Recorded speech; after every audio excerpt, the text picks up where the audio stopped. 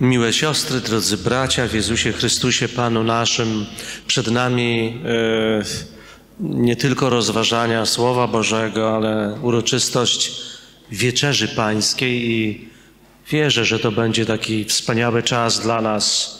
Już go przeżywamy. E, Pan Jezus chce nam błogosławić. Przed chwilą był czytany tekst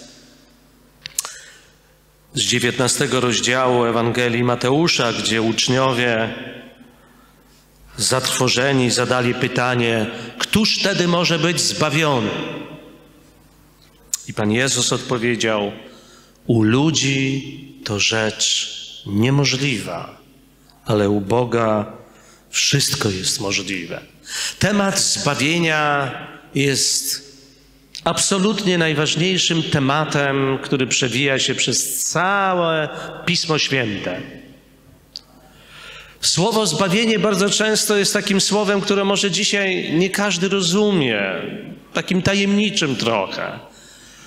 Ale wyobraźcie sobie, że przeczytałem e, z Wikipedii, w internecie wpisałem e, zbawienie i bardzo mi się spodobała definicja zbawienia.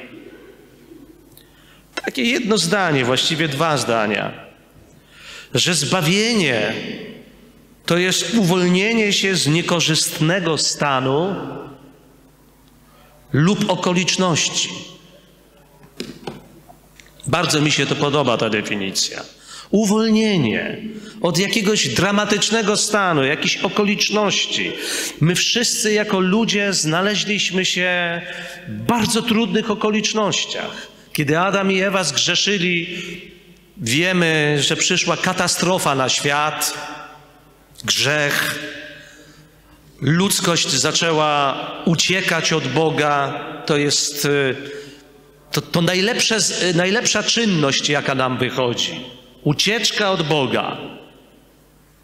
I, i, i, cała historia biblijna opisuje, jak Pan Bóg próbuje odnaleźć człowieka, uwolnić go od niekorzystnych okoliczności, od niekorzystnego stanu. Jakbyśmy wpisali czy, y, słowo zbawienie, jeżeli mamy w naszych telefonach y, Pismo Święte, aplikacje z Biblią, czy konkordancję, jeżeli w domach mamy i znaleźli słowo zbawienie, to to, słowo, to, to, to jest bardzo dużo tego. I na wielu miejscach to się przewija przez od Księgi Rodzaju aż do objawienia słowo zbawienie. Bardzo często słowo zbawienie możemy przetłumaczyć jako ratunek. Czasami to słowo oznacza uzdrowienie. Ale kontekście właśnie śmierci Pana Jezusa, którą e, dzisiaj Wieczerza Pańska właśnie upamiętnia Jego śmierć, to jest to właśnie uwolnienie od potępienia, że Bóg nam wyjednał to zbawienie. Bardzo często w psalmach czytamy, gdzie, gdzie psalmiści mówią, Dawid i inni, u Boga jest zbawienie. A jak czytamy w Księdze Objawienia, wielki tłum, który y, zbawionych y, stoi nad Morzem Szklistym, to tam wołają: Zbawienie jest u Boga naszego.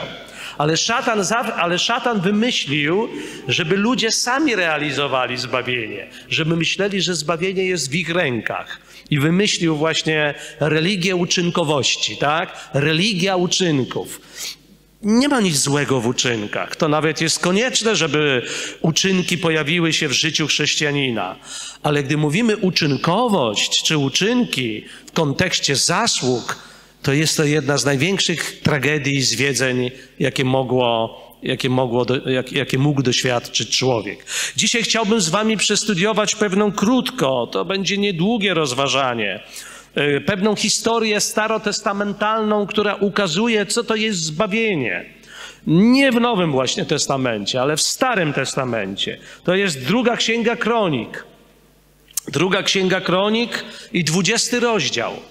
To jest, jest wspaniała historia. Bardzo lubię tę historię. Ona ukazuje, ta historia, jak Bóg realizuje zbawienie, jak Bóg realizuje ratunek. Czytam pierwsze trzy, y, może od, od pierwszego wiersza, dwudziesty rozdział, od razu może do do wiersza mm, czwartego. Po tych wydarzeniach ruszyli Moabici, Amonici, a z nimi także niektórzy Maonici na wojnę z Jehoszafatem. I przyszli posłańcy do Jehoszafata z doniesieniem, ruszyło przeciwko tobie wielkie wojsko z tamtej strony, morza, z domu. I oto są już w Haseson Tamar, to jest w Engedi.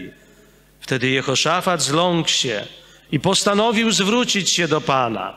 Ogłosił też post w całej Judei.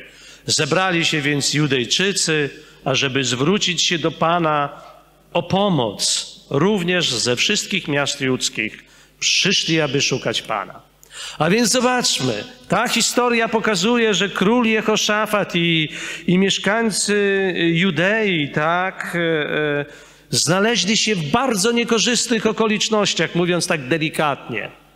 Oto olbrzymia armia pogańskich narodów sprzymierzona y, udała się na wojnę, wyruszyła na wojnę z królem Jehoszafatem. A więc okoliczności jakie? Dramatyczne, straszne okoliczności. Szanse zerowe po ludzku, tak?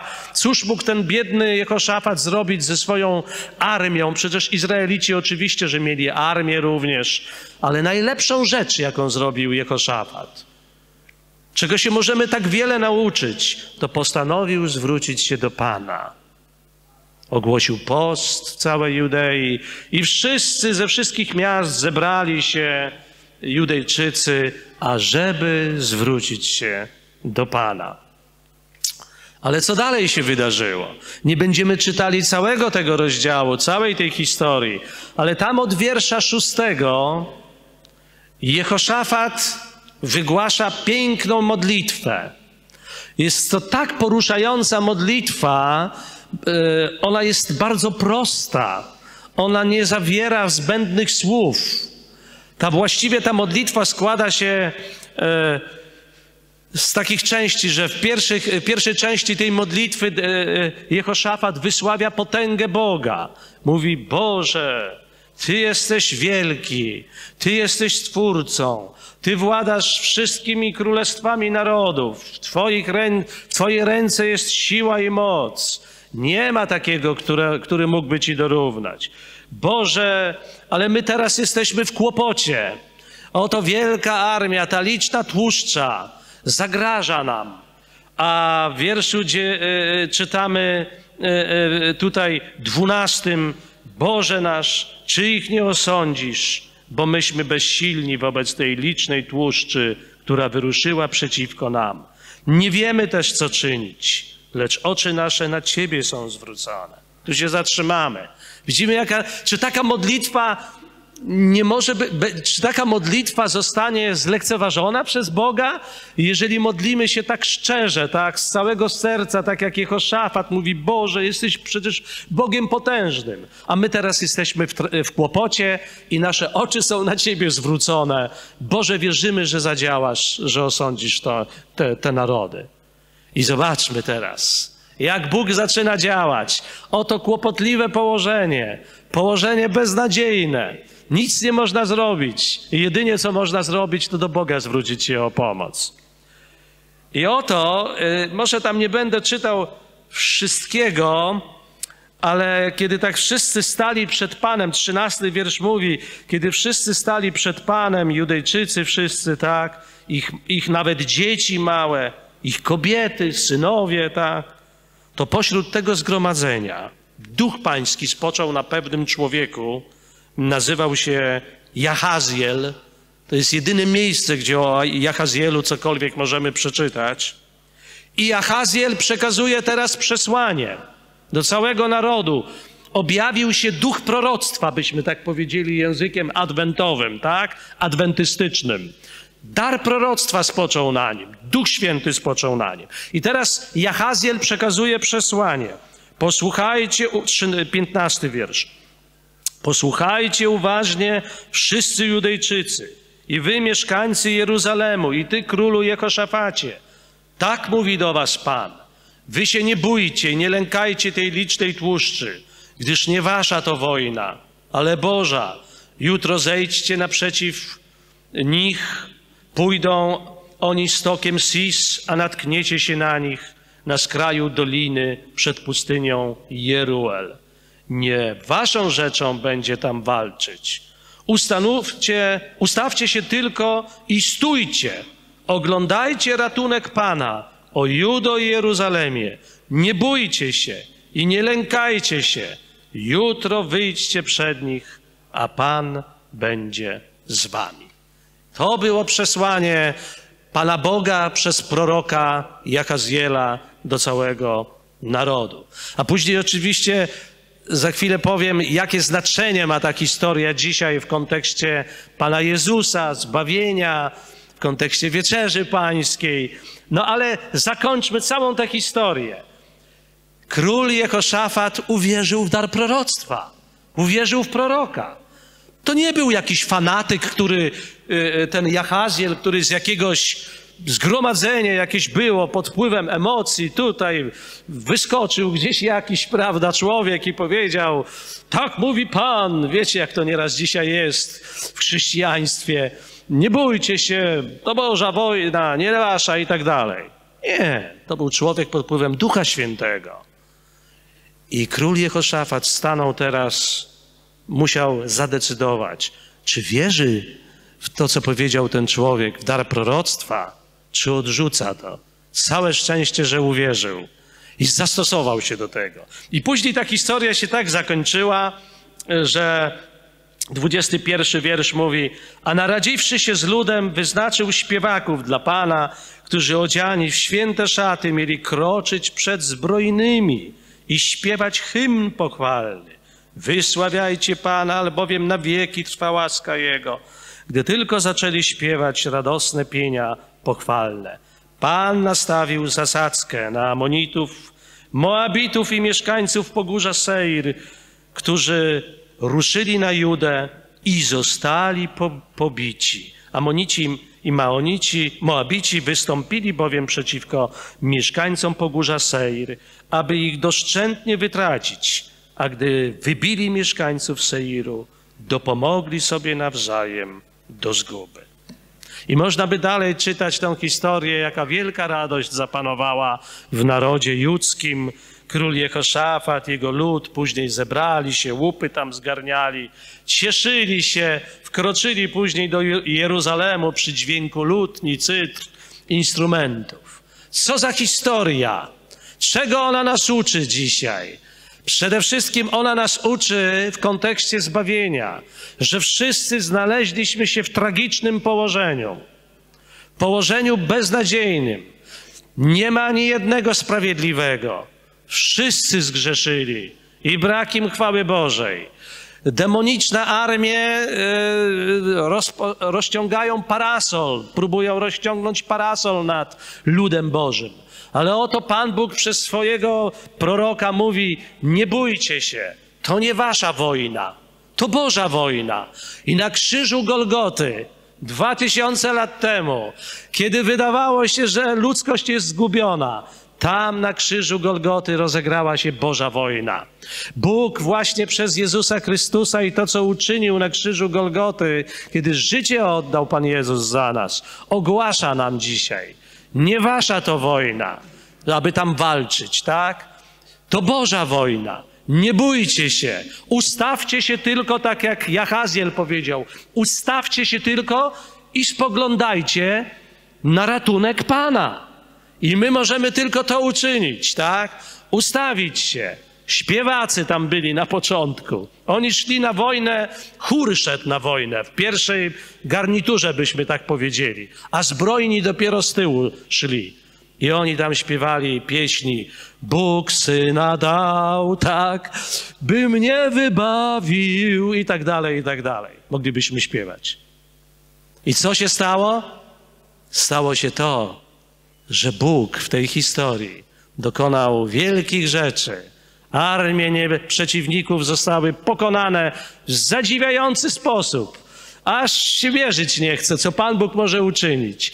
I lud później z radością mógł wkroczyć do Jeruzalemu i cieszyć się ze zbawienia Pana. To jest właśnie zbawienie. To Boża wojna. Nie nasza wojna. Przeciwnicy zostaną poniżeni. Szatan nieraz przychodzi do nas i mówi: Ty już tyle nagrzeszyłeś w swoim życiu. Ty masz tyle wad, tyle grzechów. A my mamy wtedy mówić: Nie wasza to wojna. Nie nasza to wojna, ale to Boża wojna. To jest tak jak Marcin Luther kiedyś. Szatan go dręczył we śnie i przyszedł szatan Przedstawił mu pergaminowe księgi, a tam wszystkie grzechy Marcina Lutra były. I, Marcin, i, I szatan powiedział do Marcina Lutra: I ty chcesz być zbawiony? I ty chcesz być uratowany? A wtedy Marcin Luther powiedział: Ale ty się nie podpisałeś pod tym, bo krew Chrystusa zmywa wszystkie grzechy moje. Bracia i siostry, to jest dobra nowina. Wieczerza Pańska to jest przede wszystkim dobra nowina o zbawieniu w Jezusie Chrystusie. To nie powinien być dzień y, smętny dla nas, dzień, kiedy głowy spuszczamy. To prawda, że śmierć Chrystusa przyniosła udrękę Synowi Bożemu. Powinno to napawać nas e, głęboką refleksją, że Pan Jezus życie za nas oddał. Ale przede wszystkim to jest dzień radosnej wieści, że grzechy nasze zostały przebaczone, że Chrystus zwyciężył w tej najważniejszej bitwie, to była najważniejsza bitwa stoczona właśnie na krzyżu Golgoty dwa tysiące lat temu, bo dzięki temu pojednaniu Pan Jezus mógł później e, e, e zmartwychwstać, e, udać się do, e, do świątyni niebiańskiej, aby wstawiać się za nami i dzięki temu właśnie, że umarł e, na Golgocie, będzie mógł po nas przyjść powtórnie, aby zabrać nas do lepszego świata. I dlatego to wezwanie, tak? Przede wszystkim, jeżeli jesteśmy udręczeni, dzisiaj mówiliśmy o odpoczynku, jeżeli jesteśmy gdzieś zasmuceni, zasmuciliśmy Boga, grzechy nasze może przed naszymi oczami gdzieś stoją, mamy przyjść po pomoc do Boga, tak jak Jehoszafat. A wtedy poselstwo usłyszymy: Nie martw się.